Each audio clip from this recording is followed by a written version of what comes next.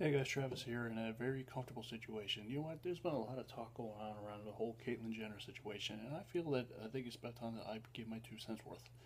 Um, you know, it's I'm probably gonna get a lot of hate for what I'm about to say, but you know what? This is my opinion. If you don't like it, you can unsubscribe, do whatever you want. Um,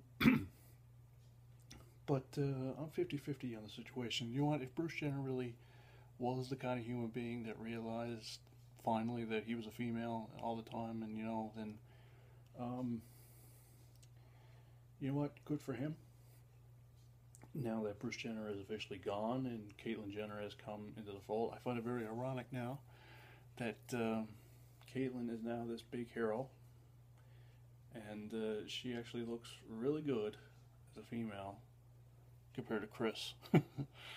um, but here's the thing um, I am an ally of the LGBT community, LGBT yep, community, in a sense that, um,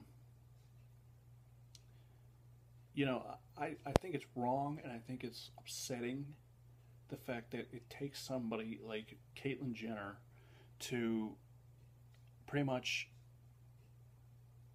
get the word out about transgender identity um, obviously, she's rich. She afford the surgery to look as good as she does. A lot of people don't have that option. And unfortunately, it takes somebody very famous like that to really open up about their own sexuality. And I find it very heartbreaking. But at the same time, um, I think Caitlyn Jenner finally got the one thing that she wanted since she actually came across the Kardashian family, and that's now she is out of the shadow of the Kardashians. The fact of the matter is, she's going to get her own, um, you know, her own um, reality show, which is one thing I'm sure she's always wanted. And everybody now is concentrating on her instead of Kris, Kendall, Kylie, Khloé, Kourtney, and, and the rest of them. Um, I think that uh, hopefully this is going to do good, and I hope that she's not going to let go to her head. You know that she's finally being recognized, and you know the one thing that I hope for everybody who gets a little bit of fame, including myself included, myself included, um, that they don't let fame go to their heads. You got to be humble about the situation.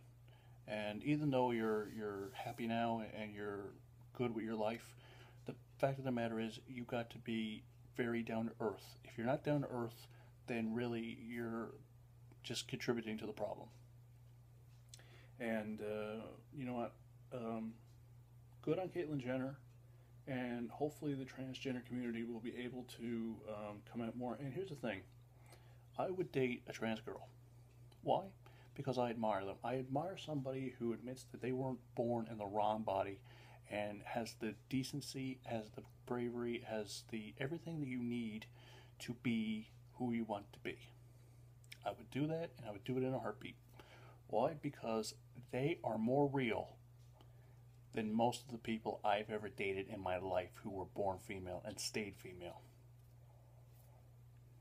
It's just the way it is.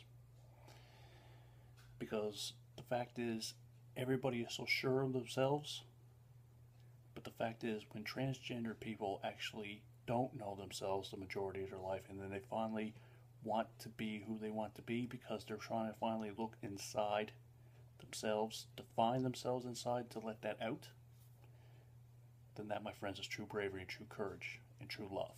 And that's the kind of love I want, and that's the kind of love I want to give. So that's my lesson for the day, and I'll see you guys later. I'm Travis Walsh. Good night.